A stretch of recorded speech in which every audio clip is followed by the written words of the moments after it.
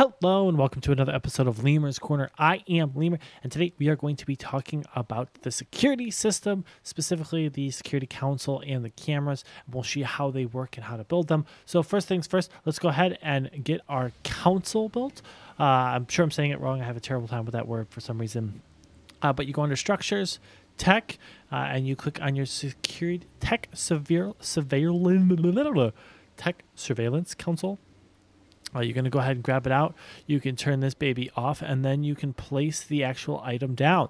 Uh, now, I want to make a quick note before we actually fully get into this. You want to make your items in here. So if you check the inventory, you're going to see you have an opportunity to, to uh, the little cameras in here. So I'm going to transfer over some of our resources to get them in here really quick. All right, so we are back and we have uh, got enough to create actually three of these. Uh, you can hold up to five per surveillance system. Uh, as long as you craft the remotes in here, if you want to switch them to a different uh, system, you just have to put the camera in the system and then go ahead and pull them out and it will consider them attached to that area. So what you're going to do is you're going to grab your cameras, you're going to place them in your inventory just like this. And if you want to, you can place them and it shows you which way they're going to look and how they're going to look at it. So what we're going to do, uh, just for the purposes of this, uh, is we're going to place it and you can see how that went that way.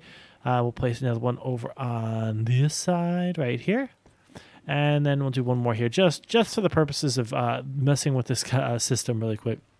So then we're going to walk up to the system, uh, go ahead and access a camera. Um, you can see I'm on camera three. You can turn it.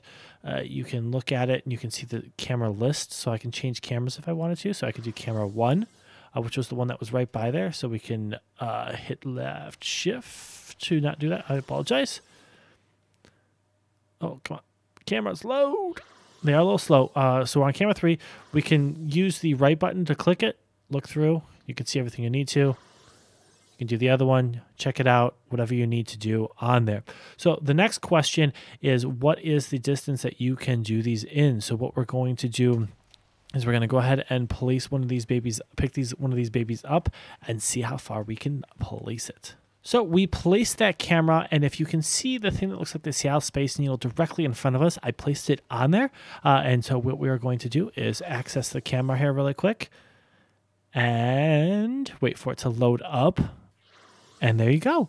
Uh, there really is no max range on these cameras. You can place them as far or as close as you want to, uh, but it does give you access to checking things out, looking what people are doing. You can pay attention to uh, your neighbors and kind of spy on them. It's a lot of fun, and I hope you enjoy that. Uh, so uh, that's really what it's going to be for you guys. If you have any other questions, uh, you have night vision, heat, and all that kind of fun stuff by pressing the C uh, I don't know what it is on PC uh, or on Xbox and PlayStation, but you can change the function just like you would for a Tek helmet. So that is the entire remote camera system in here. If you have any questions, please put them down in the comments. If you'd like the video, give it a thumbs up. If you're new to the channel, subscribe, hit that bell for notifications. And of course, as always, make sure you have a fantastic day, and we see you on the next episode of Lemur's Corner.